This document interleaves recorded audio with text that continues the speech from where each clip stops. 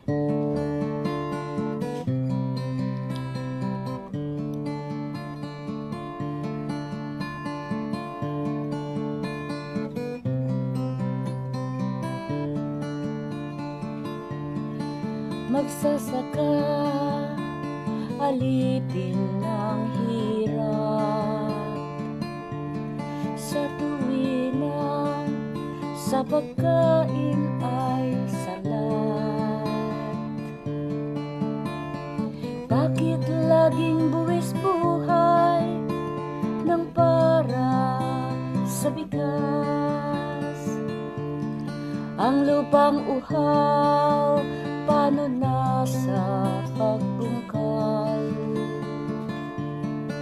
Kung matuyo ang pananim, ano pang aaninin? Ngunit nang idulog ang hinaing at pasakit Ikaw ay ibinuwal at sa lupa'y humalik.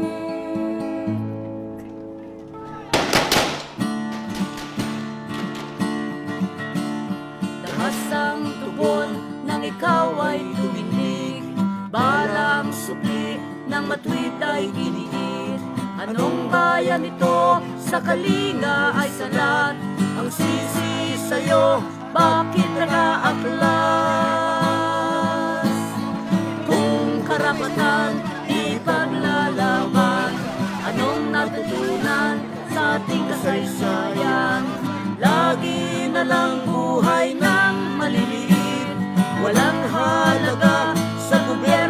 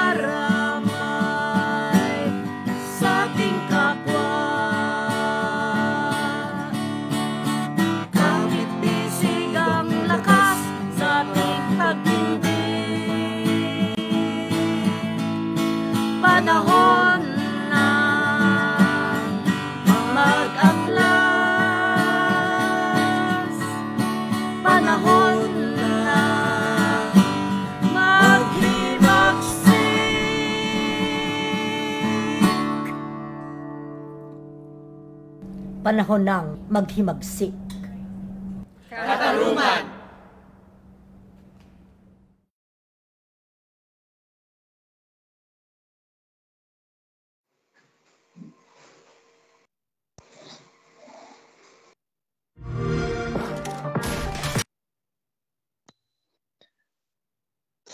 Hello mga kasama, how are you all? Welcome to today's episode on ND Online. Ako po si Fides Dagongdong and we're here with Tito. And today we're talking about on the Filipino peasant struggle for food security. Oh, ready na po Tito Jo? Oo. ah, ah, magandang hapon sa iyo, Kafides, at sa lahat ng ating tagapakinig. Uh, mahalap na pagbate ah, at pakikiisa sa lahat ng ating tagapakinig. Sa'yo din po Tito. Okay, well then let's start. How do you define food security? Food security means producing and providing enough food like grains, vegetables, meat, fish, oils, salt, sugar, and so on to the people and keep them alive and in good health. The lack, grave scarcity, or unaffordability of food, especially the staples, the staples like rice and corn, can be the cause of mass hunger, inflation, and social unrest. Thus, food security is a nuanced expression for guaranteeing food self-sufficiency and social stability. The expression food sovereignty is also used to stress the nuance that a nation state has the fundamental right to maintain its integrity, stability, and independence by assuring the people with enough food. Food security is best understood in terms of the threats to food production in the Philippines. The threats include the exploitation and oppression that feudal and semi-feudal impose on the peasant masses and uh, uh, farm workers, including the um, uh, the fishermen, the fisher folk. The absence of genuine land reform and national industrialization, the rising cost of production, bureaucratic corruption, military overspending, import liberalization, and dumping of foreign agricultural surpluses, expansion of real estate development, land grabbing by agri-corporations, expansion of mining, logging, and monocrop plantations, the poisoning of the streams by chemicals used in mining and agriculture, soil erosion, more frequent and more severe typhoons, floods, and drought due to climate warming, and uh, the rapid increase of population and the reserve army of labor or the unemployed. The Philippines is endowed with plenty of fertile soil, forests, and rivers, and uh, uh, be easily self-sufficient in food. Moreover, it can produce a large amount of agricultural surplus as a major component of capital accumulation and the classic development of industrial capitalist uh, industrial capitalism. But the neoliberal policy makers ridicule food sovereignty and food self-sufficiency as autarky, and in the name of free trade, insist on subordinating Philippine agricultural policy and agriculture to the imperialist agri-corporations and banks and to the global supply chains that they control and generate in their favor and at the expense of client states. They misinterpret food security as something that they decide and from which they can extract super profits as they please. And what is your assessment of the situation of the sector considered as the country's providers of such food, such as rice, corn, and other staples, meat, um, such as pork, chicken, and beef, eggs, milk, cooking oil, salt, sugar, vegetables, spices, and many others? Please cite recent concerns if you have any. We are a country that is agrarian pre-industrial and semi-feudal, and still have a relatively high proportion of agricultural land, 124,400 um, square kilometers, in relation to the current population of 111 million.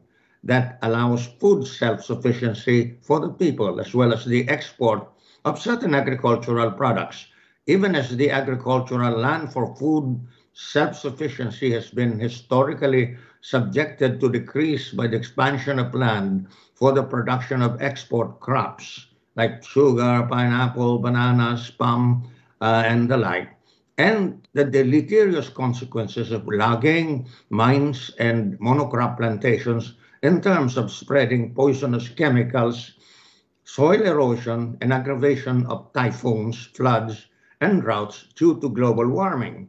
These are continuing concerns. But in recent times, especially under the plundering Duterte regime, the peasant masses that produce the food staples are subjected to the following lack of genuine land reform, to the following, like land reform, like uh, uh, uh, these are problems, um, um, uh, high land rent and usurious interest rates, ever rising costs of production, um, seeds, irrigation fees, and agri-chemicals, lack of economic and technical assistance to the food producers, manipulation of prices of the food staples and other products, and import liberalization of agricultural products, which result in undue competition from um, cheaper imports. The most scandalous development in the relationship of the bureaucrats and merchants at the expense of the peasant masses and farm workers has arisen during the Duterte regime. The National Food Authority lowers its buying price, narrows its role to buying only for minimal buffer stocking, and uh, allows the merchants to smuggle in the staples to bring down the price of the locally produced staples. It is now targeted for privatization after agreeing to the so-called rice tariffication, which liberalizes the importation of rice. The bureaucrat merchant combine allows the merchants to buy cheap the locally produced staples at the growing expense of the peasants from one harvest season to another. Both bureaucrats and merchant syndicates rake in profits from both smuggling in the food staples at the same time buying dirt cheap uh, from the peasant during the harvest season.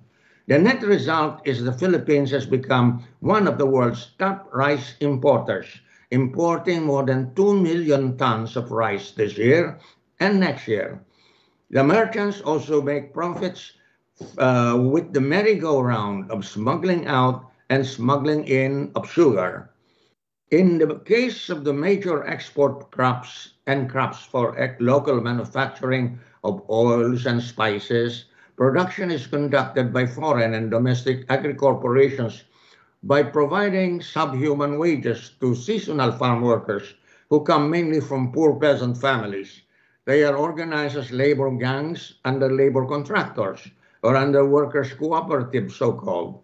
Even the middle and rich peasants are inveigled to enter into growers' agreements whereby they lose their land through the manipulated prices of inputs and products.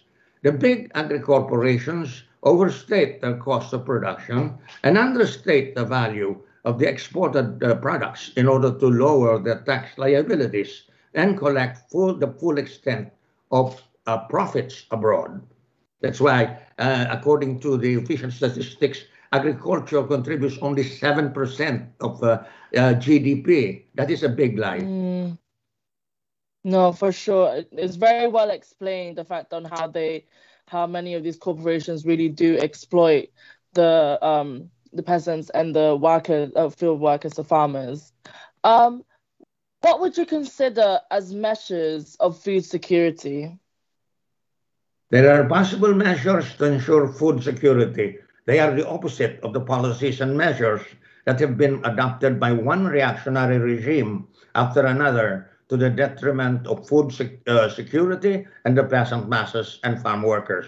There must be an authority to ensure regularity of jobs and living wages, build up stocks of staples to assure the people that they have enough nutritious and healthy food and that they are secure from malnutrition, food scarcity, and famine make up for crop failures and shortfalls within calculable scales and periods of time to guarantee the continuous availability of the staples, satisfactory and fair incomes for the producers and stable prices of the staples to ensure the availability of feeds for the livestock and certain agricultural products as raw materials for the food, alcohol, tobacco, drug and bioethanol uh, manufacturers.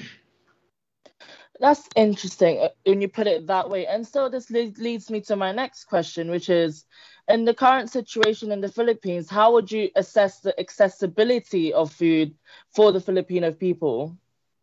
We still have more than enough agricultural land and a superabundance of peasants, farm workers, and fisher folk. They can produce more than enough food staples and export crops other agricultural products, and fish catch inland and on the seacoast. Maritime fishing is now seriously threatened by China's violation of Philippine sovereign and maritime rights in the West Philippine Sea. I've already cited the many long-running problems that undermine and hamper food production and that can ultimately lead to much graver food scarcity and famine. There is the problem of food accessibility to the broad masses of the people because of the worsening economic crisis, the rising unemployment, the falling incomes, inflation, and mass poverty. The economic policy of the reactionary government has been contrary to genuine land reforms and to the production of a growing agricultural surplus for the improvement of the lives of the peasants and farm workers and for the national industrialization of the Philippines. The big compradors, landlords, and corrupt bureaucrats have long preyed upon the peasants and workers by manipulating the trading of agricultural products for domestic consumption. And the foreign agri corporations and the big comprador landlords stash away their profits from export crops in foreign banks and use their accumulated capital to import manufactures from abroad. In recent decades, biotechnology and WTO, World Trade Organization, GATT uh, provisions have become weaponized by the giant imperialist monopolies to further tighten their control of Philippine agriculture and food systems. Yet their initiatives have been allowed or even welcomed by succeeding regimes from Aquino to Duterte and their technocrats. Genetically modified crops such as the golden rice and uh, uh, BT corn have been touted for their supposed benefits. Yet many peasant groups and progressive scientists have exposed and opposed the many adverse impacts of uh, uh, genetically modified varieties on local agro ecosystems and people's health. The Duterte years, 2016 up to the present, have been particularly terrible for the Filipino people in terms of food security because of so many major programs and policies that further prioritize tourism, real estate development, and infrastructure, which are both land greedy, instead of food production, encourage big corporate agriculture business that kill off or assimilate small farms and wreak havoc on local agriculture and related branches of food production. We only need to mention three obvious examples of this. First, Duterte's knee-jerk response to the spread of COVID-19 within the country from March 2020 onwards was to impose first a Luzon-wide, then a nationwide full lockdown, which it then prolonged and only very gradually loosened up in recent months. In the guise of stopping the spread of the virus, it immobilized the people's daily routines, including much of trade and transport. It set up checkpoints everywhere, made arbitrary requirements for freight trucks to proceed, and literally strangled the flow of farm produce to a mere trickle for many months, leaving so many truckloads of cash crops rotting in the villages, warehouses, and by the roadsides bankrupting so many farmers and small traders and hijacking up most uh, uh, and jacking up uh, most food prices in urban markets. Even now, more than a year later, from villages and small traders are only uh, beginning um, to recover some of their losses when they get hit again by new waves of strict lockdown measures. Meanwhile, urban markets are swamped with cheap imported vegetables and fruits from China and elsewhere. Second, Duterte's technocrats following the same path as past regimes which supported neoliberal policies from Aquino and Ramos onwards have been allowing the big foreign corporate farm and food interests to weaponize animal epidemics. In recent outbreaks of the avian flu and African swine fever, for example, the regime resorted to harsh overculling and other restrictions with only minimal support for the affected poultry and hog workers. The result is that hog and poultry prices have shot up, while the country's poultry and livestock industry has become mortally weakened. Eventually, the aim is to destroy much of the peasant based or small scale capitalist character of the local livestock industry and replace it with huge food imports in certain product lines and by big foreign-owned corporate farms which lightly, tightly control local production through contract growing agreements in uh, other product lines. And third, the Duterte regime has signed into law the Rice Tariffication Act, uh, RA 11203, in 2019, which is proving disastrous for many agricultural livelihoods because it encourages the importation of cheap rice from other countries and the pressing down of locally produced rice. Philippine Statistics Authority data show that palay farm gate prices dropped from 23 pesos per kilo in September 2018 to a mere uh, 15 um, pesos and 50 centavos in October 2019. On the ground, uh, prices have further dropped to 10 uh, uh, uh, pesos or less, and these were registered even before the farmer killing lockdowns from early 2020 onwards.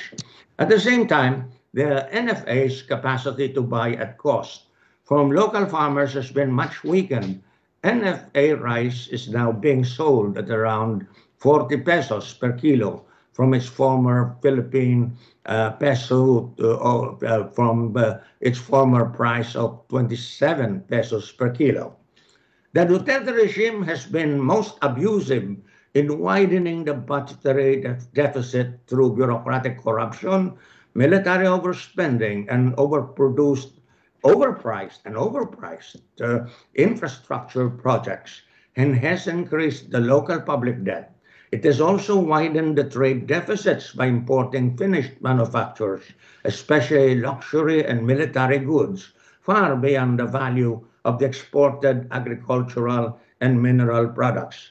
The income of the overseas Filipino workers and the growing foreign debt um, uh, have been uh, wasted by the Duterte regime. The demand for overseas Filipino workers and their income are now decreasing because of the global economic depression. Duterte and his neoliberal advisors, headed by his finance secretary Carlos Dominguez, are utterly stupid and short-sighted. They have had the illusion that they can resort to domestic and foreign borrowing without end and without adverse consequences to the economy. When he became president in 2016, the total Philippine public debt was only uh, 5.9 trillion pesos. Now it is already 11.6 trillion and is expected to rise beyond 13 trillion in 2022. Um, this is a huge bubble that is already in the process of bursting to the detriment of uh, uh, the people. You know, 5.9 trillion pesos was accumulated since 1902. You know, and but on, you know, in a matter of only few years, um, five to six years, Duterte has doubled uh, the public debt. So it's crazy, and uh, he has destroyed uh, uh, and bankrupted. He has bankrupted the economy. Yes, definitely you've definitely explained that very well on the how he's basically ballooning all of the debts that we have and it's to the detriment of our peoples. Moving on so could you please provide context on what is truly considered quote unquote good food? And on the other hand what would i suppose we consider as nutritious or healthy food what I consider good food is what I enjoy eating in the proper proportions of rice, fish, and or meat, vegetables, and fruit for dessert, uh, with uh, milk uh, uh put into the coffee uh, in the morning. Progressive agroecology networks recommend organically or naturally grown food, locally produced and available food, and produced under conditions of fair labor practices. I also agree with the professional nutritionists in the Food and Nutrition Research Institute and National Nutrition Council of the Philippines, which have issued since 2012 the following nutritional guidelines.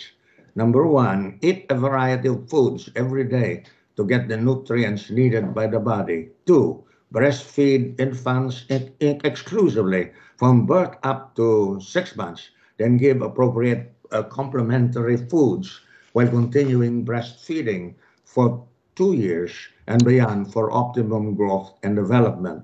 Number three, eat more vegetables and fruits every day to get the essential vitamins, minerals, and fiber for regulation of body processes.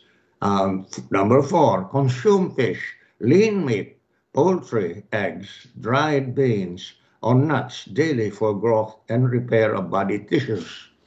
Five, consume milk, milk products, and other calcium-rich foods, such as small fish and shellfish, every day for healthy bones and teeth. Six, consume safe foods and water to prevent diarrhea and other food and waterborne diseases. Seven, use, use iodized salt to prevent iodine deficiency disorders.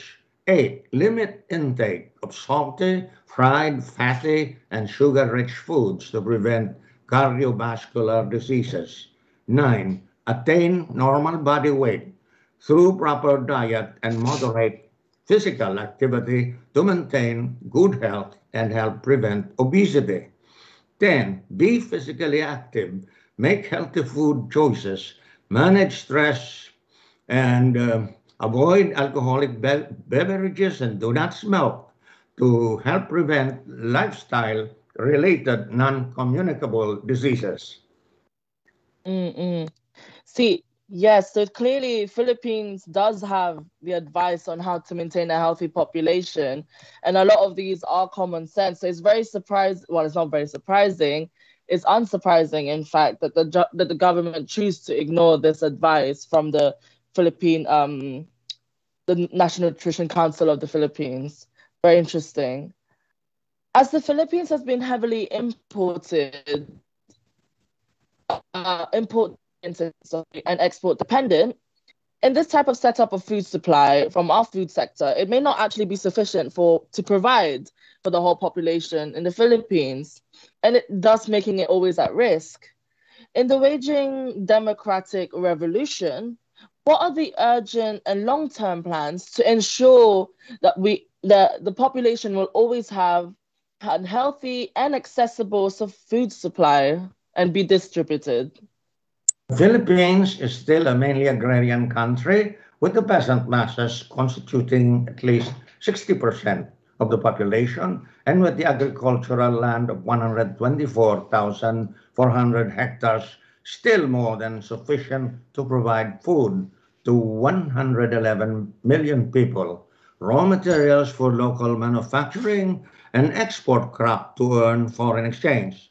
The level of technology in agricultural production is still low, especially in extensive areas where the carabaos are used as work animals and feudal relations still persist. Even in the modern plantations, there is widespread use of seasonal farm workers who bring their own land to hand tools. They are extremely low paid and uh, treated um, uh, as beasts of burden. In the past 40 years, there has been a gradual expansion in the use of small-scale machinery for certain steps in palay production. For example, hand tractors like the Kuliglig and the Kubota in lieu of power threshers, and so on. Agri-chemicals have also replaced manual weeding to some extent in the major rice-producing regions. But these machines and chemicals are imported the most critical steps, such as planting and harvesting, are still labor intensive, even in high value cash crops, such as temperate vegetables grown on mountain slopes or in poultry and livestock farms and aqua farms. Daily farm work is still dominantly labor intensive, requiring mobile gangs of seasonal farm workers using the simplest farm implements the majority of them, uh, in a fundamental sense, are still part of the peasantry, even as it still has generally a low level of technology in terms of using tractors and other machines, uh, irrigation systems, fertilizers, and pesticides. Philippine agriculture is capable of producing enough staples for domestic consumption and a significant amount of surplus which has been appropriated by the landlords, big compradors, and the foreign and domestic uh, agri corporations. You know, during the time of Marcos, Benedicto tried to sell in um, um, uh, these uh, harvester combines, but they realized that it was cheaper to hire the seasonal farm workers, and uh, they were afraid that there would be a social explosion if uh, they would displace people, if they would displace the seasonal farm workers with the use of um, uh, the um, harvester combines. The main content of the People's Democratic Revolution is agrarian revolution. This is ultimately taking away the land from the big landlords and compradors and distributing the land free to the peasants who proceed to develop their cooperatives from one stage to a higher one on the widening scales of the municipality, uh, district, and province. Without the exploitative exactions of the landlords and merchants, the peasant masses can raise the technological level of agricultural production, raise the standard of living, and produce a growing amount of surplus for capital accumulation and industrial development. The strategic objective of the new democratic revolution is to enable the completion of agrarian revolution and link this with national industrialization and basic socialization of the economy. The working class has a decisive role through the proletarian-led state in taking over the commanding heights of the national economy and in ensuring that industrial development also directly benefits agricultural cooperation through mechanization, establishment of machine tractor stations, and provision of consumer and various uh, producer goods. The cooperatives are required to deliver grain quotas to the state but receive payments to raise the standard of living. Agricultural and industrial production are given the highest priority in centralized economic planning, investment, and financing that mutually benefit the workers and peasants. The Worker Peasant Alliance is maintained and further developed from five year uh, from one uh, five year economic plan to another in the socialist construction. Yeah, thank you very much for that. Um, so question is, would you say that this condition that you've just described av- is available in the Philippines at this current moment? And are there any examples from other countries or communities that we can adapt and sorry adopt into our country? At the moment, the revolutionary movement has been capable mainly of carrying out the minimum land reform program of rent reduction, elimination of usury, raising farm wages, improving prices of products at the farm gate, and raising production in agriculture and um, uh, sideline um, occupations through rudimentary cooperation. In certain areas, uh, for certain periods, the guerrilla fronts have carried out projects of confiscating land from the landlords and taking it back from land grabbers and promoting rudimentary agricultural cooperation among the peasants and among the red fighters assigned to agricultural production for the People's Army. Even at the stage of the strategic defensive within and adjacent to guerrilla fronts, some small and medium-scale enterprises can already cooperate with the People's Democratic Government and peasant associations to produce good quality food products which could enter the wider rural and urban markets and could supply guerrilla units as well. A few examples might be processed and packaged with foods and materials derived from native rice and corn varieties, a coconut, uh, for example, virgin coconut oil, muscovado, confectionaries, dried fruits, and nuts, medicinal herbs and drinks, and so on. These enterprises could also be encouraged to engage as well in repair, reconditioning, and repurposing of industrial and automotive machinery already available in small towns and rural areas for the use of peasant and fisherfolk associations and other producers' cooperatives in food production and food processing. Total victory in the People's Democratic Revolution is needed to complete the agrarian revolution and develop the agricultural cooperatives as well as rural industries to advance socialism. The classic examples of agrarian revolution were those of the Soviet Union, in which agricultural collectivization and mechanization were achieved under the leadership of Stalin and of China, in which agricultural cooperation led to the establishment of communes and rural industries. In the Democratic People's Republic of Korea, Cuba, Vietnam, and a number of East European countries, agrarian revolution and agricultural cooperation and mechanization were also carried out. Mm, I see, I see. And what could you suggest as a response to the gaps of food security within the Philippines? We need to take the following steps as response to the gaps and vulnerabilities in food security. Number one, remove the brutal and corrupt Duterte regime from power and stop it from using public funds to import rice and other food products that we ourselves can produce and thereby raise the prices of staples and other farm products that our peasants produce.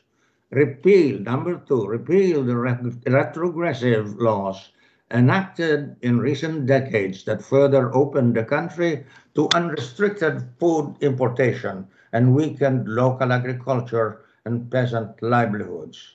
Uh, for example, the rice uh, tariffication law or RA um, 11,203.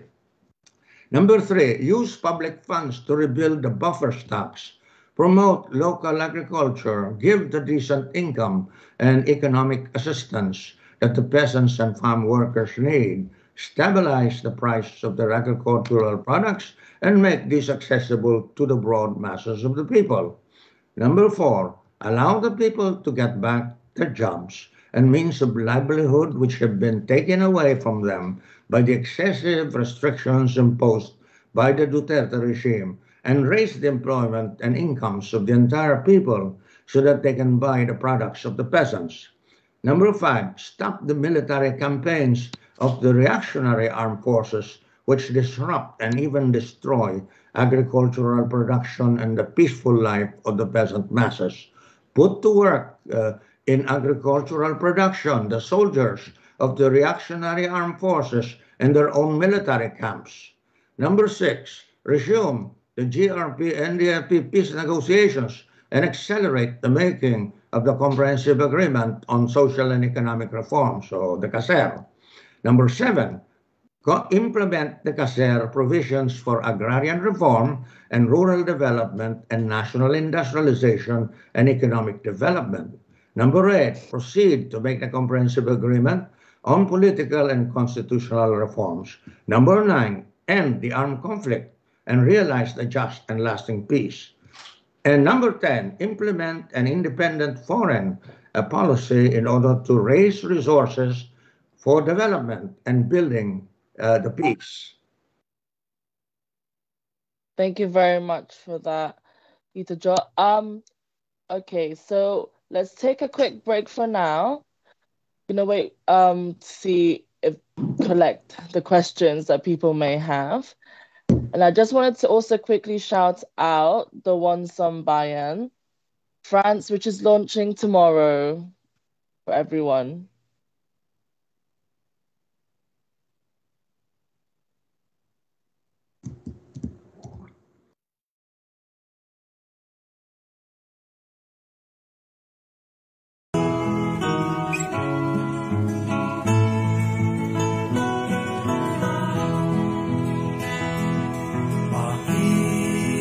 Kaya nagkaganyan. Ang ating kapaligiran doon dito ay luhaan. Kahit saan may tangisan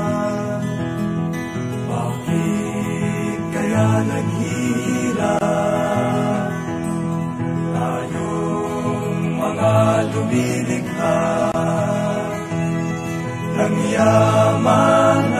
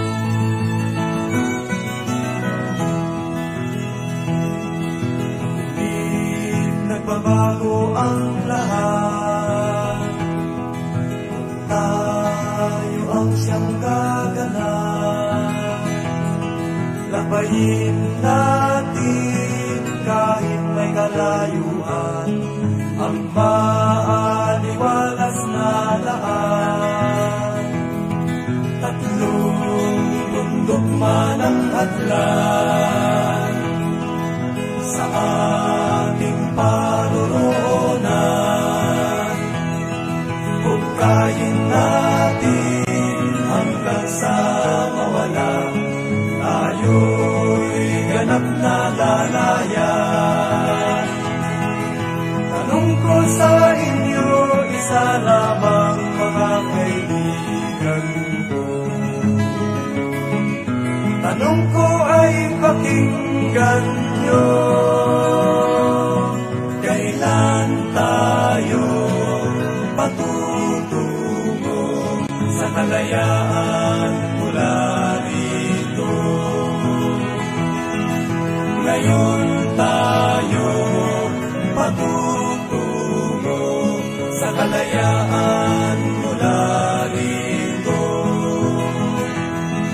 kalayaan mula rito.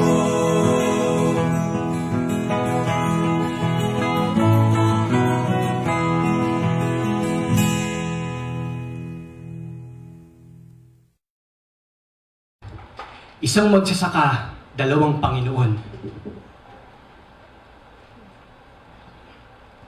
Magtanim ay di biro. Maghapong nakayo ko. Di naman makaupo, di naman makatayo, pero hindi luluhod. Kahit ilang dekada nang nagdarasal. May mga rehas na nakaharang ngunit hindi ito kumpisal at hindi rin ito misa. Kahit ang lahat ay nakaangat ng mga kamay. Kahit ang lubin ay para sa mga nasa itaas. At ang sumisigaw sa harap ay malayo sa pastor ngunit mas malapit sa langit at sa mga pangil na dekalabit. Dahil sa oras na ibasbas na ang tanso sa laman ay hindi ito tutubo. Bagkos, tutulo na animoy gripong dinidiligan. Silang mga nagtatanim ngunit walang gatang sa kaldero ng Diyos ang tunay na reforma sa lupa ay isang propesiyang hindi matupad-tupad tugon.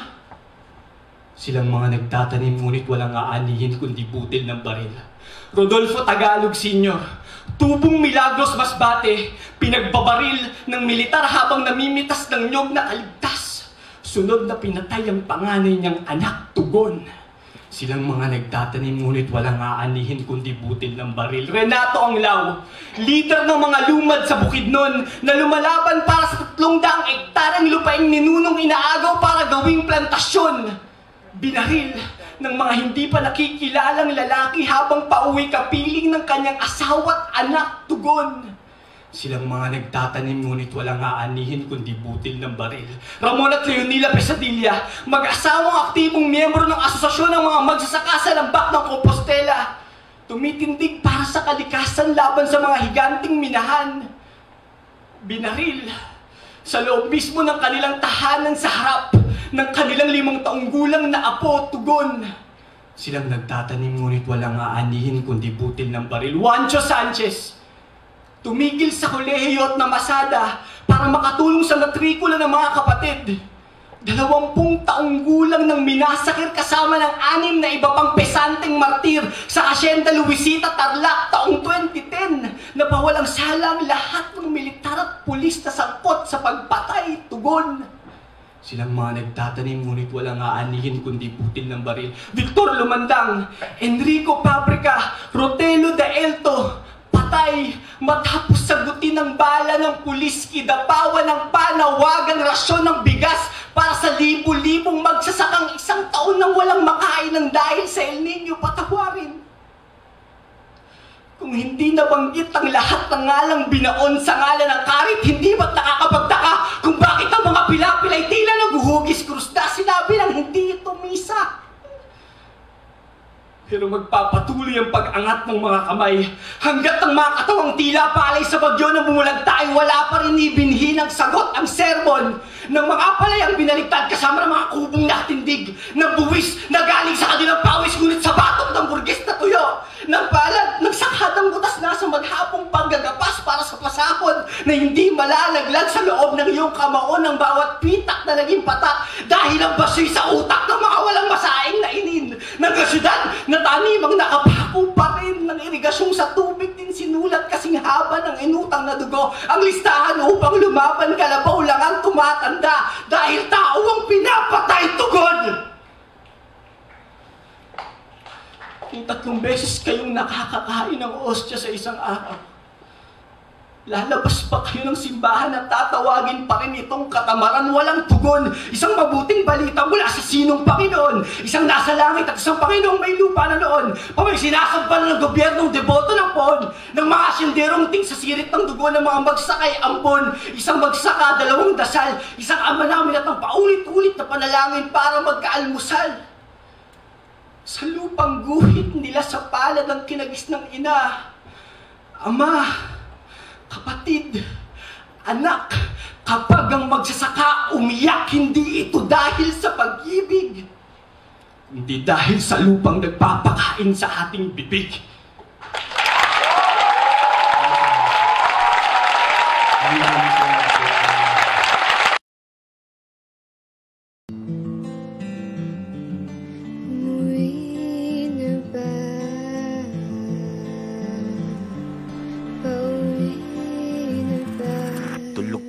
Paalis na ako Naunahan pa yung araw. Almusal ko yung bahaw Agawan ng jeep at trabaho. At traffic pa sa may kalaw Halos hindi na ako umuwi. Puro na lang ako dalaw Sa tahanang malipit. Kada buwan, limang libo Inuuwi ko. Sakit balikat, likod at ulo Malaking na raw. Ba't pa ako nagre-reklamo? Talagang tigis trabaho Talagang linis ang baho Ng boss na Amerikano. Kontraktual, artiladong katawan. Binibigay lahat mula balat hanggang laman. Hanap naman ng bago pagtapos ng ilang buwan. Ginagawa lahat, magkalaman lang ang tiyan.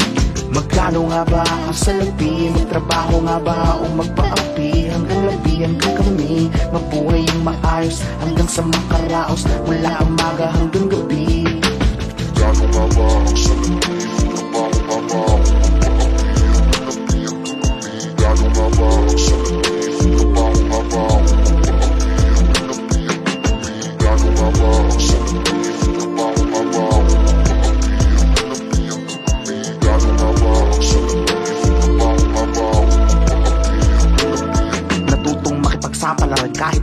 Ito na yung kapalaran na kaya kong abutin. Kahirapan ay sakit na di ko kayang gamutin. Kahit ano pang gawin, kahit lang hanggang hindi lang kanin ang pagkapain. Kasalanan ko raw kasi hindi nakatapos. At kayot kalabaw nakakapamintig sa pagod. Nalulunod pero sumusuong pa rin sa agos. Parang kailangang sumigaw para lang di mapaos. Matay kumukulap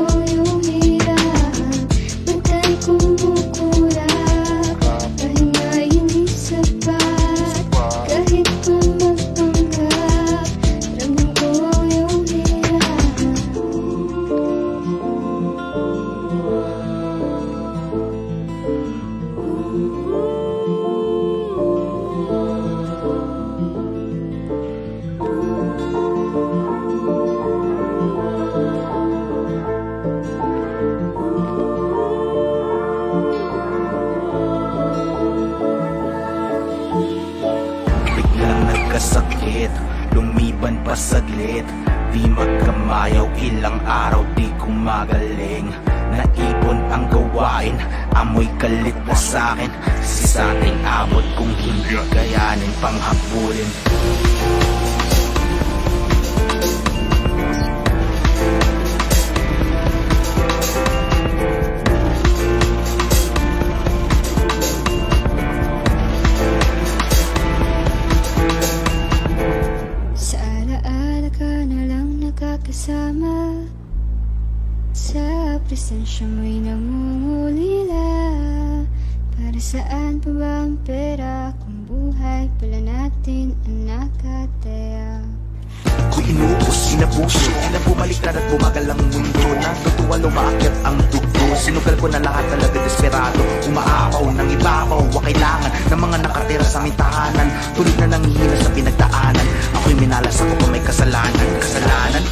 pagkalaban Sa mga nagmamayari at ari-arian Pinatulan kahit delikado na gawain Itutuloy pa rin para lang merong maihain Kano nga ba ang salapi? Magtrabaho nga ba o magpaapi? Dapat itama ang mga mali Buhay ko ba'y katumbas ng salapi? Salapi, salapi, salapi, salapi, salapi Hinahanap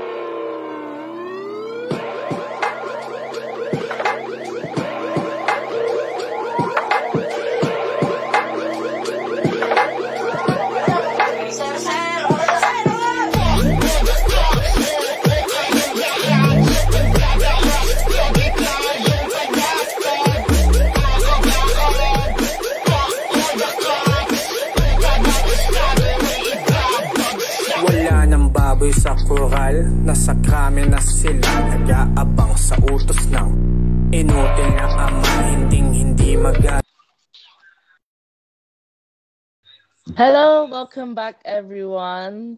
So we have a few questions for you, Tito Job. Are you ready na po?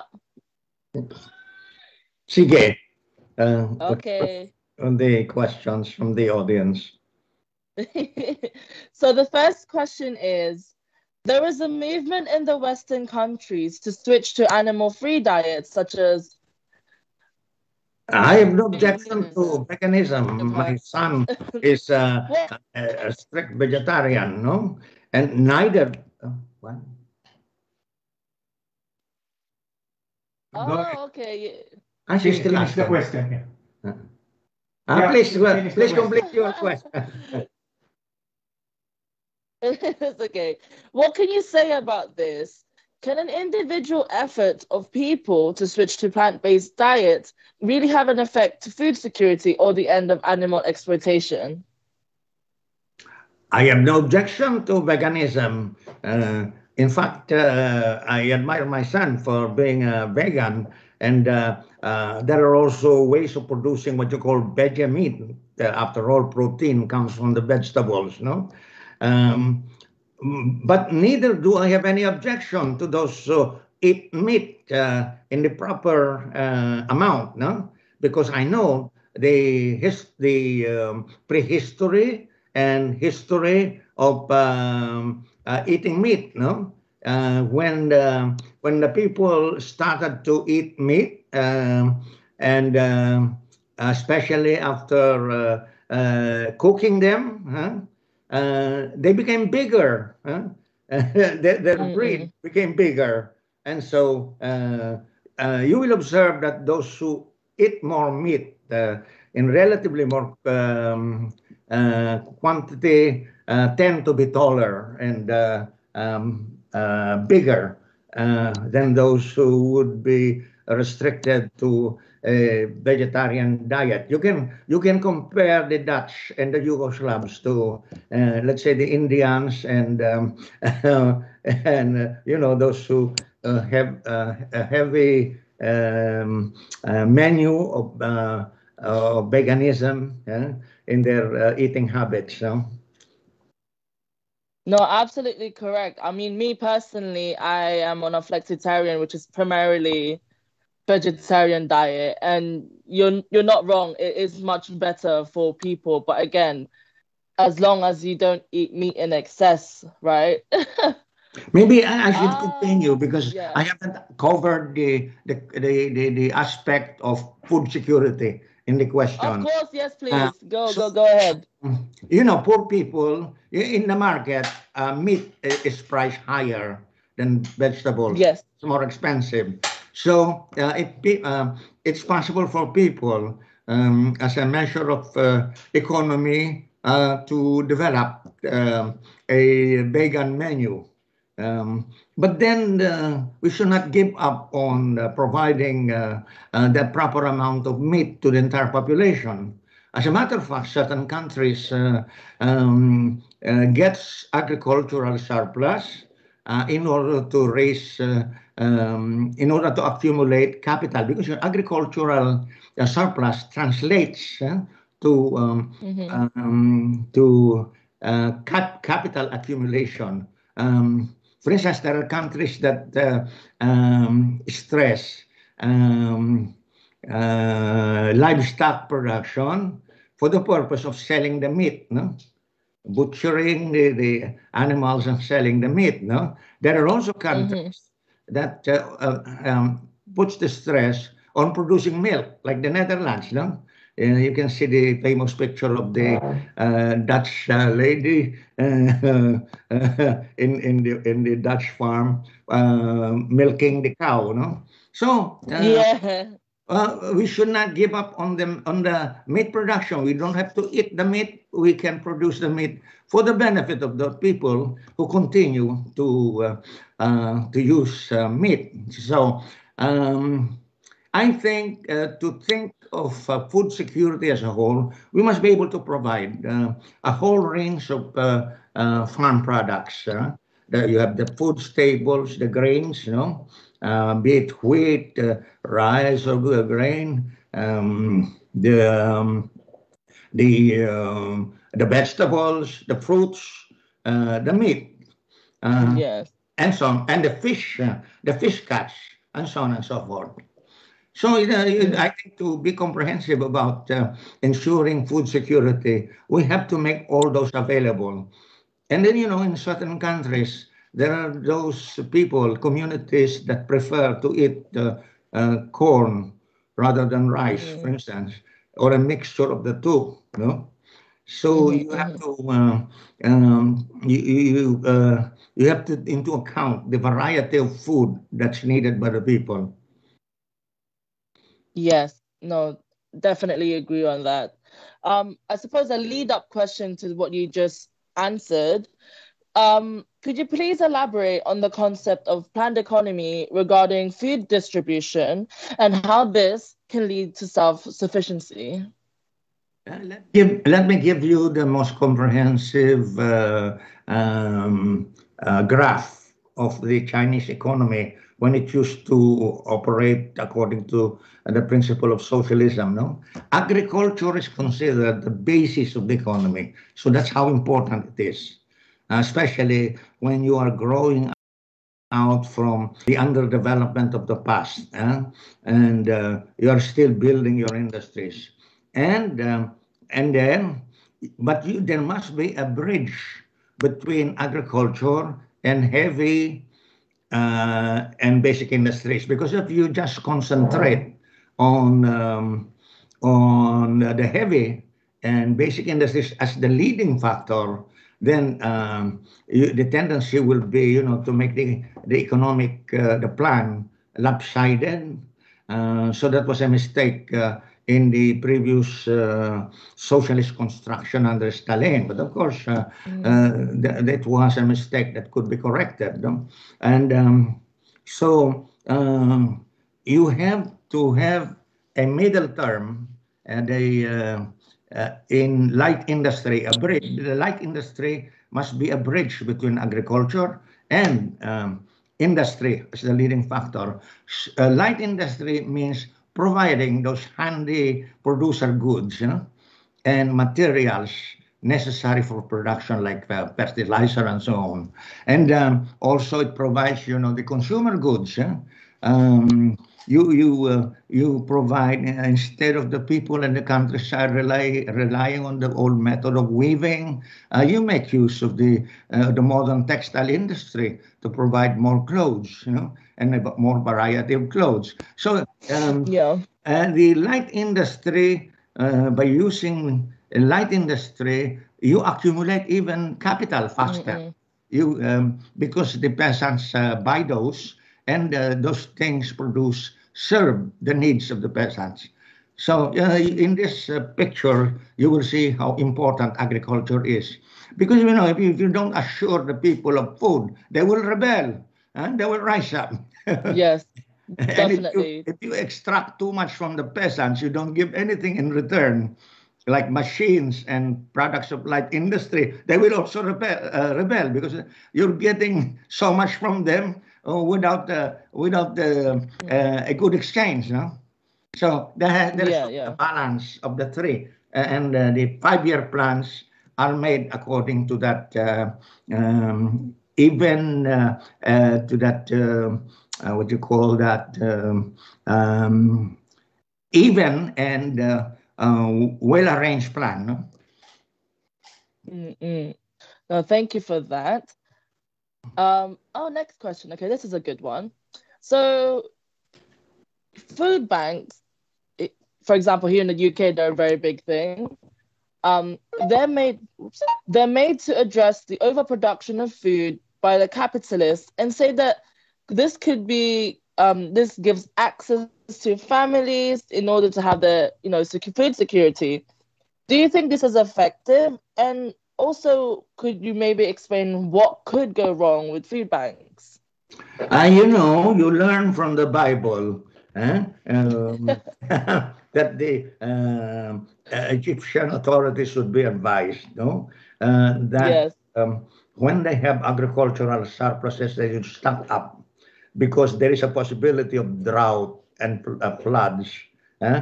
and uh, mhm. a, a fall in production. So you know you anticipate uh, uh, problems that you don't see immediately, and but you Mhm, can mhm. base yourself on on experience, uh, uh, experience with the uh, climate of a certain country. So um, that that is the general premise. Now, um, I, for the Philippines, for instance, we need to have a buffer stocks, especially in the staples, um, so uh, that um, uh, the people will not go hungry. They will not be victimized by inflation. Uh, they, they will not rebel. eh, There is social stability, um, and um, um, and so there are so many reasons. Uh, but you know, this. uh, food banks of the capitalist uh, uh, are uh, adjuncts of a, an imperialist system, a system of taking advantage of the of farm workers in the imperialist country, as well as the peasants and farm workers in the uh, client states. No, that's what's wrong. Yeah. And of course, uh, it's the it's relatively the best they can do to serve hungry people. No, um, but that's it's one way of uh, stabilizing the situation and keeping the exploitative system going on. No, so, Yes. uh, it- this is so much, uh, you know, making buffer stocks here is only for alleviating uh, problems that might arise, or let us say, um, uh, uh, showing uh, to the hungry people that the state, uh, the capitalist state, and the monopoly bourgeoisie are nice guys, no? Uh, that I will issue to you the food stamps, no? But then they will uh, use their ideologues and publicists to mock you uh, as uh, parasites, no? and uh, and to stress the point that uh, the capitalists are generous guys, Santa Clauses. uh, and people who lose their jobs or are out of jobs are abusive people, no? So that's how the that's the picture. That's um, uh, by the way, that kind of picture is stressed uh, under neoliberalism. Uh, uh, wages Yes. pushed down, uh, and yet when people don't earn enough, they're accused of being parasites. And uh, Mm. when they, they are in need, no?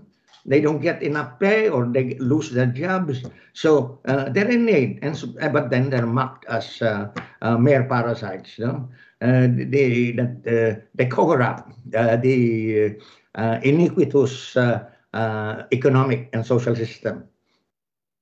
No, no, I'm I'm in complete agreement. I usually always say that food banks aren't there because people are being leeches. No, the food banks exist because capitalism exists. They, they don't have a choice. We're made to, well, when people are hungry because of capitalism, you have no choice but to beg for food, right? So, Mm. again, just toxic cycle po. the best system is um, you you get what you deserve by virtue of your work, no? Uh, not you know yes, uh, because of the the the, the uh, generosity of some exploitative guy. exactly, exactly. It's all just it's all a means to maintain a manipulation, is it not? To Yeah. Keep the people in the system. So anyhow, the next question would be um peasant classes in the Philippines are considered as the poorest class in society. Though they are the ones providing food, as in the is magsasaka and um or the um Anakpawis, the peasants that are working. Um, what do you think is the reason for this, and what could be a possible solution? Yeah, the peasants are the most uh, exploited and they're the most deprived of land, in fact, no? Uh, and uh, food, no? It works this way. Let us say uh, you go to the frontier land, open up the land, no? Um, Mhm. Because of your, your low level of understanding, uh, you're deprived of education, you think there is always plenty of land that you can uh, open up and sell cheaply. Or some wise guy would uh, uh, put together a gang of uh, landless peasants and they open up land uh, somewhere. And then uh, the wise guy who give uh, the rations would be become the landowner. And the peasants who work on the, on the land would become peasants, no? So you Yes. see, the poverty uh, is taken advantage of. Also, in case of uh, uh, their production, no? Uh, harvest time, harvest time, the uh, peasants uh, are approached by the merchants, the merchant usurers especially. They will be approached, um, uh, and the merchants will take advantage of the fact that they, there is a relative, uh, uh, relatively big amount of uh, um, of uh, rice, let's say rice, in the market. Yes. They use the they use the harvest season as uh, uh, which seem to provide a bounty eh, of uh, rice. They use it in order to price low eh, the rice. So early on, the peasants would uh, uh, would sell if they have they can dispose of their share. If they were tenants, if they could dis, uh, uh, sell their share of uh, of of, uh, the production, or if they were small uh, owner cultivators, um, they would like to. Um, if they uh, they would not have to ha- they like to have ready cash, no.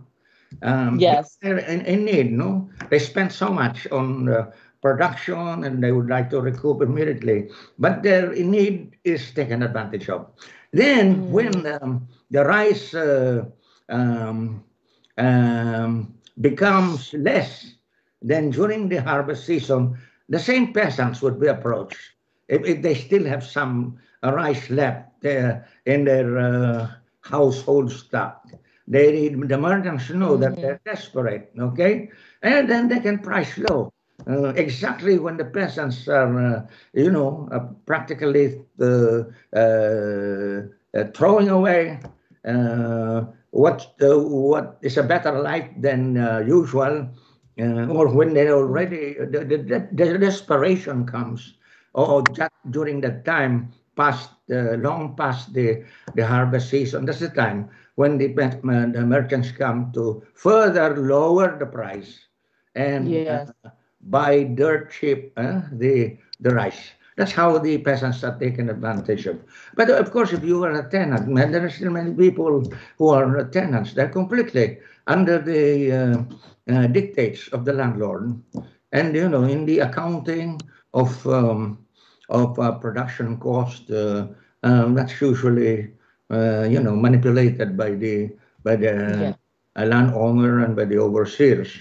So, and um, actually, the biggest number of unemployed comes from the peasantry. That's which you call the reserve army of labor. Those out of jobs, they come from the uh, uh, from the uh, peasantry. So uh, they appear as the footloose, eh? very pathetic uh, uh, farm workers or mining workers. They go to the mining areas or they go to other areas to work as farm workers or they take occupations odd jobs in the urban areas. Most of these Yeah. people, uh, of course, the uh, the uh, urban poor also generates its own uh, uh, reserve army of labor, no? But there, there is no the bigger, the biggest uh, um, bulk of uh, unemployed people come from the peasantry. And you know, there, there, there is there's stupid uh, social scientists, you know, the university pedants and and uh, bureaucrats who say, "Oh, the young people now are um, um, are abandoning the countryside." Stupid. Uh, there is no industrialization to absorb huh? these the the unemployed. So uh, what the, these uh, unemployed people do is to take odd jobs uh, in different Yeah. parts the country. It's not because just because, and then they uh, they they understate the the number of peasants by listing up only the um, um, only the head of the family. You know, a, a, a peasant family, every one of them contributes to the uh, to the production. Even uh, children, nine years old and above, no? Uh, and then when a member of the family takes odd jobs elsewhere, he contributes to the common common fund, no? Uh, but some people say, oh, this is now a worry. We are, we are producing only 7%, no? Uh, uh, agri- as agricultural out- output as part of the, of the GDP. The young people are abandoning. What abandoning? So uh, they are looking for jobs elsewhere, and the luckier ones with the ability to speak English. Huh? Now, those who belong to the uh, probably the rural petty bourgeoisie, no, uh, from the middle, uh, they they've been able to obtain um, high school education and the ability to speak English. They go abroad, no, they become the overseas contract workers. Uh, because right in the Philippines, there is no industrial development. So uh, you get the point how uh, we are pushed down in the Philippines by the imperialists and by the local exploiting classes. No. No, definitely very well explained, uh, Tito Jo. It's again, it's just all a maintenance of system, is it not? They, especially with the narrative that they're saying that people are abandoning. Well, no, it's just desperation leads to such desperate measures. Um, but yeah, just horrendous. Um, Uh, that's next. um, yeah, Yep. yeah. Okay, please. Okay, thank you. Um, uh, that's so next. The the news these days have told us that farmers are throwing away their produce, and and the fact that it has happened years before, and it will surely happen in the future. Why are they throwing their crops away? How can they compensate their capital if they throw away their crops instead of selling it? Isn't there a, an available program or support from the government? That's another myth from the uh, uh, bureaucrat capitalists, the government, the, the rotten government officials and the uh, academics you know, who don't know any better. They, this kind of myth is similar to, you know, uh, the notion that young people are abandoning um, um, rural life and uh, rural production. That's not true. Uh, you don't just throw away the products of your uh, labor and what you spend on. Um, you throw away when the thing is already rotten. No, uh, you you would throw away huh? anything that is rotten. What do you do? You uh, stock up on uh, things that uh, um, have not been um, bought at the proper price, or um, uh, things that you produce, but which the merchants uh, uh, do do not have any interest in because they cannot they cannot acquire those things at the price that they dictate. So this is another bit. Uh, you know, that- that's how uh, peasants are victimized. They're not only victimized by actual oppression by the military forces that uh, undertake operations, uh, military operations again. They are victimized by the exploiting classes uh, through the daily violence of exploitation. And then you have the intelligentsia uh, under the orders, uh, in the pay of the uh, exploiting classes who invent these notions huh, to, to put down the peasants, no? Uh, that the peasants are so rich, uh, after all, that they can throw away their products just like that. You don't throw away anything if this has not become rotten, especially food, no? Food has a life, uh, has a lifespan. Huh? If, uh, if, if, if uh, uh, you cannot just stack it up, no? Indefinitely. Okay. No. No, definitely not, especially not with fresh produce. And I think you'd have to be a certain type of person to blindly believe such very false and very, as you would say, very stupid rumors, especially if people know farmers. They're probably the type of people that would never waste any bit of an animal or vegetable that they have, right? so, uh, yeah, just you know, on the face of the story, uh, poor people Yes. throwing away uh, the, the product of their labor is as silly even as when you say a rich guy throws away things just for fun. No? yeah, even even the exploiters do not throw away things uh, unless there is so much a surplus, and then they manipulate uh, scarcity. no?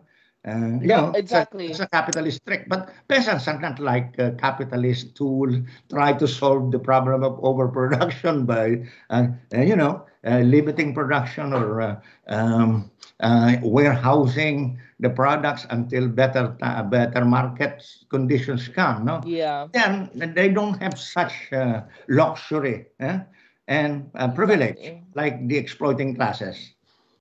exactly. Well put, Tita Jo.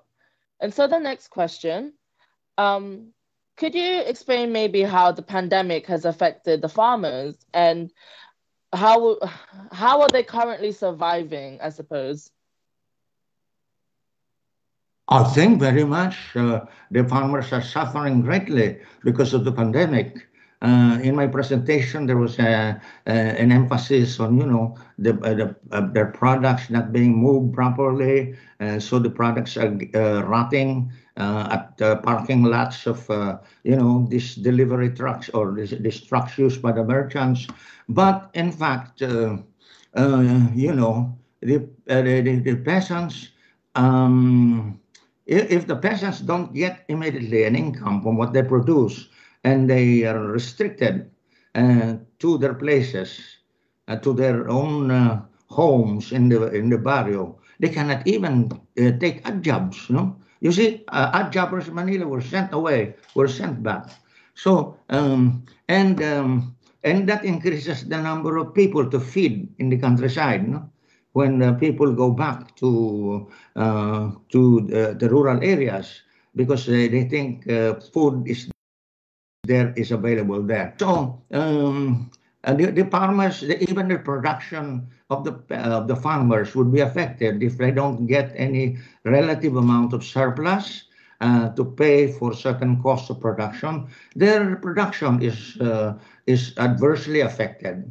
And I suppose uh, uh, the output of agriculture, output of staples uh, uh, have been severely affected, no? And so there is a um, um, chain reaction, no? Um, Yeah, Then a household, you don't produce enough and you cannot sell enough. And then you cannot, uh, members of the family that, that have odd jobs elsewhere cannot even earn enough to contribute to the uh, family pot, no? Uh, no, you know, the- this, you know, this uh, academics and uh, and exploiting classes do not consider. They don't know uh, the the life of peasant families. no, they definitely not. They it's just I I like to say it's like projection. They're projecting their own insecurities of their own life and enforcing it on people that don't even live in the same standards as they do, you know? okay, so this is the final question that we've been given. Going back to diet real quickly, is there a way for people to learn from our um, indigenous roots in terms of diet and consumption of meat and other uh, sources of food, such as how fish was the primary meat, quote unquote, um, and land meat, uh, such as pork and beef and chicken, were primarily eaten on rare and festive occasions, etc. There are many things we can learn from the traditions of the people uh, with regard to the production of food and uh, with regard to eating habits. And uh, there are uh, we cannot just uh, uh ignore those. We have we can adapt uh, uh, or and um, develop what we can learn from our traditions. And in fact, you know, there are to to take a very good example. People know how to use plants uh, in order not only to feed themselves but to cure certain diseases. So you know the, the, the big pharma goes to India and tries to take free, and then they they they get the patent rights over you know uh, you know Yeah. uh, the uh, med- medicines that can be drawn from the local plants. You know? So that uh, that's traditional wisdom being appro- misappropriated by uh, the imperialist uh, uh, uh, pharmaceutical firms. So there's plenty uh, to learn. Uh, for instance, uh, I, I would have, the, as an Ilocano, I would have the uh, stereotype of the Igorot uh, just eating sweet potato. No, but Yeah. in, in, um, in uh, uh, when I lived with the Igorots, uh, they ate uh, uh, a good amount of rice combined with, uh, uh, you know, the ordinary rice and the glutinous rice. That's what I tasted. Yeah. That combination. All the Cebuanos are known just to take corn. No? Oh, they combine corn and uh, and rice, huh? especially. Yeah. There are many things to learn, um, and um, the important thing is you know what are the uh, the healthy and nutritious foods that should be made available, and uh, we can learn from. For instance, uh, um, be, even before there was the miracle rice um, uh, developed by the Rockefeller Foundation supported uh, IR, uh, uh, uh, IRRI in uh, Los Baños. The BPI, our uh, local experts, had already developed uh, uh, strains of rice.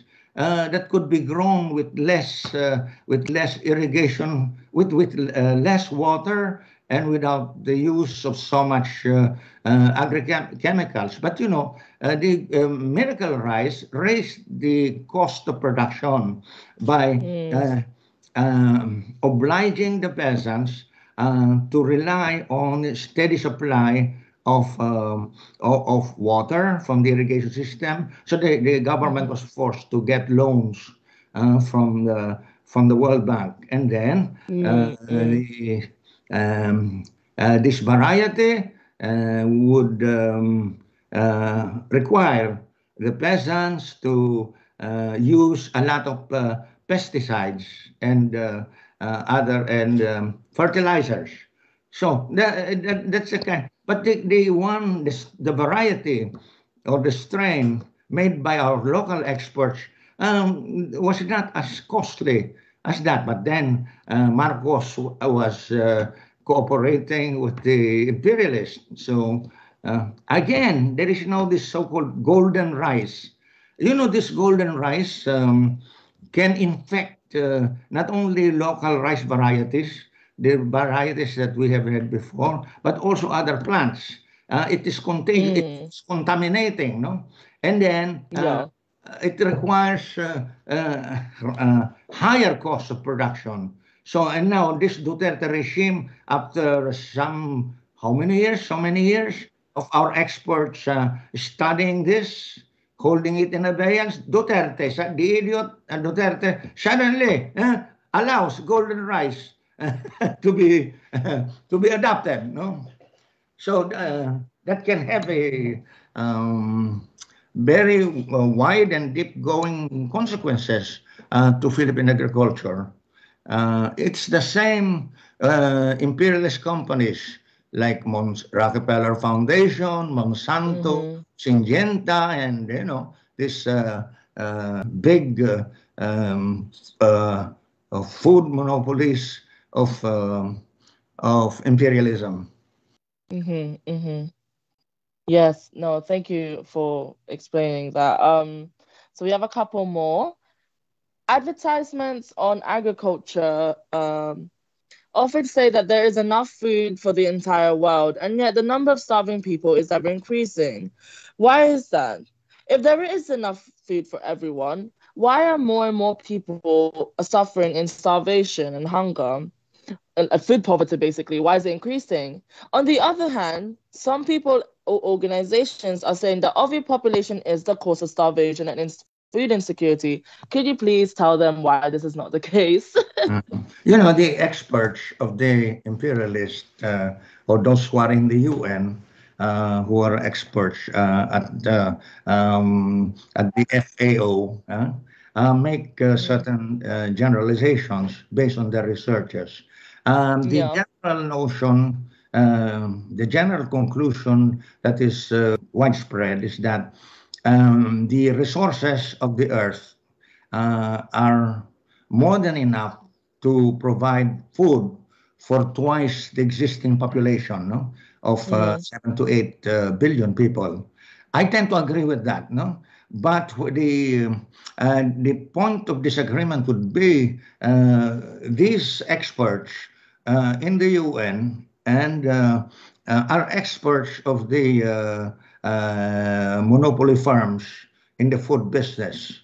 So, you know, mm-hmm. they, they put forward that uh, you rely more uh, on what the um, big, what the monopolies can do, not what the mm-hmm. people, the poor people, people can do. They advocate, you know, continuing the situation, exploitative situation, in which mm-hmm. the foreign monopolies can freely take advantage of the resources and people eh, in the underdeveloped countries. So the, the point of the disagreement is that I advocate that the people themselves uh, in the clients mm-hmm. rise up to um, to to uh, do away with this uh, foreign control and uh, uh, exploitation of the human and uh, natural resources available.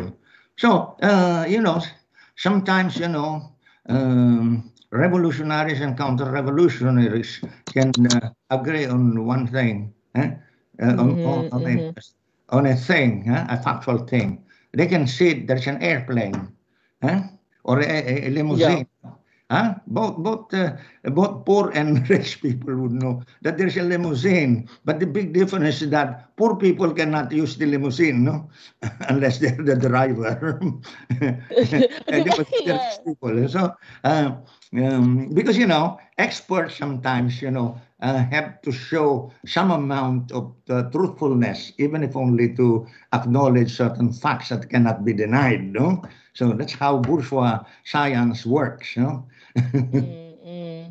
No, completely correct. That was a very good analogy, and in, in stating that people can, people will use facts and then twist it in order to manipulate to fit their own narratives. And that's essentially, as you said, the bourgeoisie scientists and capitalist scientists use to maintain the system. Very much correct. And thank you for that explanation. Because I, I really do struggle with people when they tell me, uh, when they ask me that question. Sorry to go on a bit of a tangent, but yeah, I, people always do ask that and always say, "Oh, why why are people dying then and from hunger?" And I always say, well, if there are foreign nations controlling food supply and distribution, I I don't know what are you expecting. You're not ex- I'm not expecting them to give it to the people that need it the most. They're gonna give it to their own people. Uh, let me uh, uh, make a very concrete example. No, yes. Uh, if you have a unit of the new People's Army going around to do revolutionary mass work, um, they will calculate that they cannot, if, if it's a platoon, no? if it is a squad or platoon, they cannot stay too long yeah? in a mm-hmm, village. Mm-hmm. Either yeah. they will eat a lot of the resource of the community. And uh, so that their presence would not be resented, uh, they stay for a short period. And it's good for the People's Army to be very mobile, no? And so um, and then uh, the um, the NPA squad, let's say it's a squad, no, it mm-hmm. will have to uh, help in uh, rural production. They can help at least the families, giving them the food, no, uh, okay, but uh, uh, the the revolutionary, the NPA can do much more than that, okay. Mm-hmm uh, they, they will uh, inform the party, well, this area has so many villages that would require the expertise of our uh, agricultural experts. Okay, so uh, the, the experts will sh show how um, production can be raised, no? And then Yeah. Another thing that the, the NPA unit can do is to, um, uh, or, or the uh, command of the NPA as well as the party leadership will see to it that uh, families of, uh, of um, um, red fighters are uh, well taken care of, that they, they must be assisted in production and um, and then the NPA itself can uh, create um, can create uh, production units, you know, so that uh, in the long run um, they uh, they get more than they produce more than what they use. So and uh, they can also uh, with the uh, plots of the uh, agricultural plots of the NPA, it can be demonstrated how cooperation uh, can be used eh, to produce Yes. Better results in farming. Uh, so there are many ways uh, that uh, um, the revolutionary forces can help. huh? But the biggest thing that uh, the revolutionary forces and the NPA, the party and the NPA and the peasant associations can do is to surround the landlord class, uh, disempower it, no, make it isolate it, and um, make it ineffective in exploiting the people, and the land would ultimately go to the peasants. That's the best thing they can do. Uh, but that means already completing the new democratic revolution. While that is not possible, uh, what is called minimum land reform program is carried out. Yeah? The landlords can still negotiate. No? You can still distinguish the enlightened ones from the despotic ones. Um, uh, the enlightened ones are those who agree to reduce the uh, land rent, the interest rates, and improve the uh, wages, and so on and so forth. So um, there are the bigger things. There are things that the uh, revolutionary forces can do uh, at the grassroots level in very, in very simple, concrete ways. Then you have the strategic uh, um, direction of political work uh, that will uh, advance the agrarian revolution and uh, uh, will lead to the free distribution of land after the confiscation of land uh, from those landlords. You know, usually landlords Yes. uh, simply inherit their their land holdings or they have be- been corrupt officials and they buy land. No. Um, Yeah. uh, uh, you cannot be sad about their losing the land in favor of the peasants that they exploit. Of course not. Of course not. So, anyway, thank you for indulging me on my little tangent. Um, so this is the last question. Uh, could you please share a bit more how um us the people waging the revolution in the countryside um ensure food security? I suppose you already touched on it a little bit, but please elaborate a bit more. Uh, what was the question again? Uh, it's not Oh, posted sorry. yet. Sorry. Um, could you share a bit of how um the people waging the revolution in the countryside could ensure food security?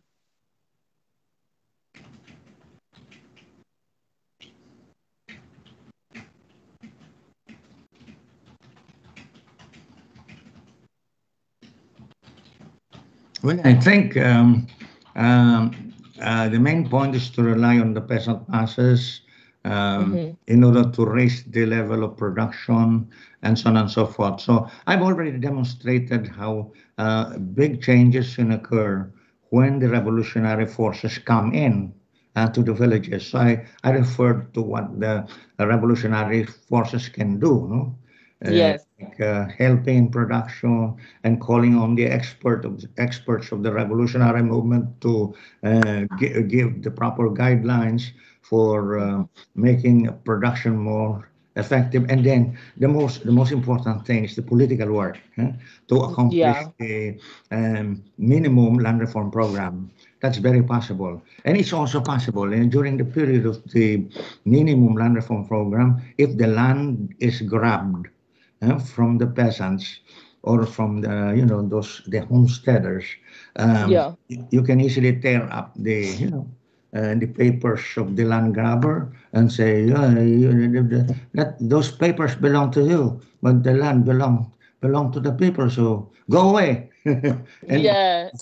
Uh, if you want to stay, then you will have to spend so much on on um, guarding your la- uh, the, the land, and uh, uh so you know, uh, the the the land grabber usually computes that he cannot really sustain uh, what he has, you know, possession of what he has grabbed, and um, um, it, it is even possible to concentrate on despotic landlords.